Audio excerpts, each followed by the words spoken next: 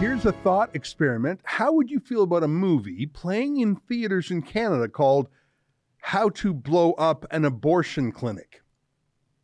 Or what about How to Shoot Up a Church, which, by the way, just happened a few weeks ago in Nashville, Tennessee? What about a movie called How to Blow Up a Mosque? I'm guessing you're not too comfortable with any of those, even if you are a free speech absolutist. But right now, in theaters across Canada, there really is a movie called How to Blow Up a Pipeline. Here's Cineplex's website. As you can see, it's being marketed to teenagers. Uh, there's ads for it everywhere on, on TikTok in particular. It's rated 14A. So teenagers can go to, to the movie by themselves if they're 14 or older. Cineplex is so proud of that. Here, uh, watch the movie's trailer for two minutes yourself. Hey everyone, welcome back to Boom Talk. Today, teaching myself to make a homemade blasting cap. If this works, it'll be step one in making our own improvised explosive. Might be headed to Texas for the winter. What's in Texas? This project. What kind of project? Try to stop a pipeline from being built on my property. Poisons the air, water. Damn, this place is sick. You guys cooking meth in here? You ready to start working? We have to show how vulnerable the oil industry is by hitting something big. Michael, what do you think the odds are we blow ourselves up?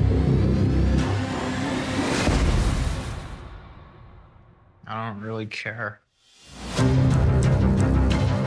We could blow the pipe at the hilltop, keep the oil from leaking. You're not actually thinking. I'm not thinking about it. I'm doing it. What if y'all do structural damage? Structural damage is kind of the point. This is destruction of federal property. Terrorism. American Empire calls us terrorists, then we're doing something right. If you're seeing this, let those who profit from mass death know their properties will be trashed. Three, two, one. They will defame us and claim this was violence or vandalism. But this was justified.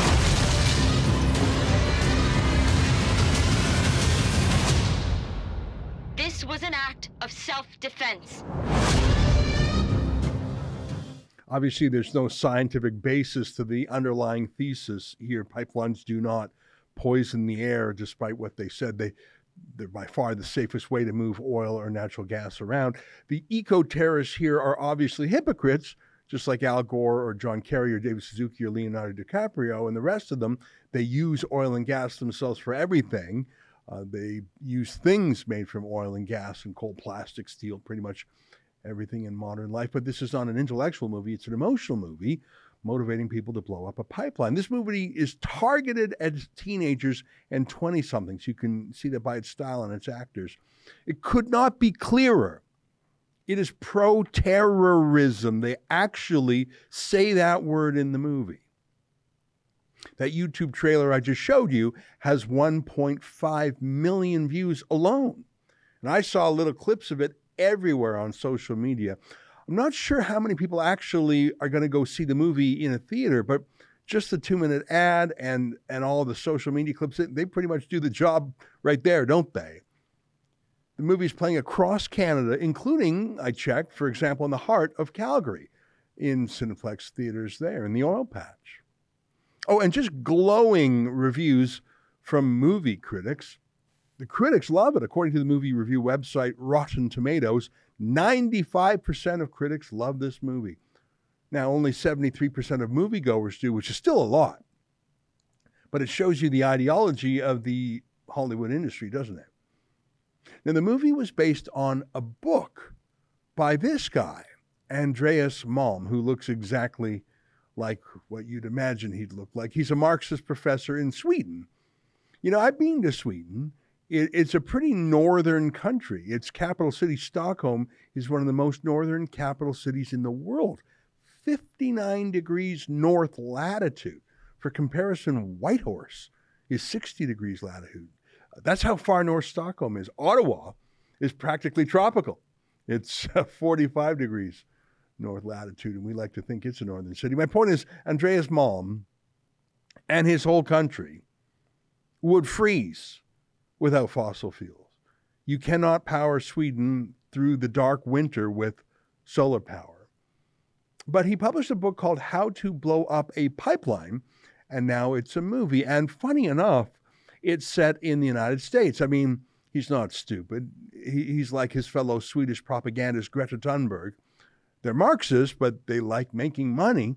No one in America is going to pay to see a movie about Swedish teens blowing up something in Sweden.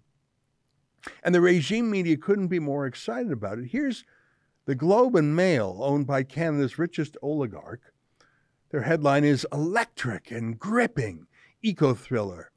How to Blow Up a Pipeline is a fast and tight cinematic provocation. You know, the Globe and Mail actually called it a courageous movie. And they even complain that it's too politically soft. They say, you'll be a better person for watching it. I'm serious. Let me quote a little bit. Is it controversial, even dangerous, to make a movie unambiguously urging illegal action? No more so than the thousands of films that squeal over wholesale murder or whose politics push the agendas of the American military. I'm not sure what the murder part he's referring to there. There are a lot of people killed in Hollywood movies, but I'm not sure if squealing about murder is uh, the same as encouraging it or the same as a two hour propaganda course literally telling people to become terrorists. That was an excerpt from the Ezra Levant show. I'm Ezra Levant. Every weekday, I do a monologue about the topic of the day. Then I interview a fascinating guest either in studio or via Skype. And then I read your mail, whether it's fan mail or hate mail, which is sometimes even more interesting. This is on our premium service, though, called Rebel News Plus. Go to rebelnewsplus.com. It's eight bucks a month or less if you buy a whole year in advance. You get my show every weeknight, plus Sheila Gunn Reid's show every week. It's called The Gun Show. It's pretty amazing. You know, we rely on you because we do not take a dime from the government. In Canada, that makes us almost unique. So please help us out and help yourself to some great journalism at rebelnewsplus.com.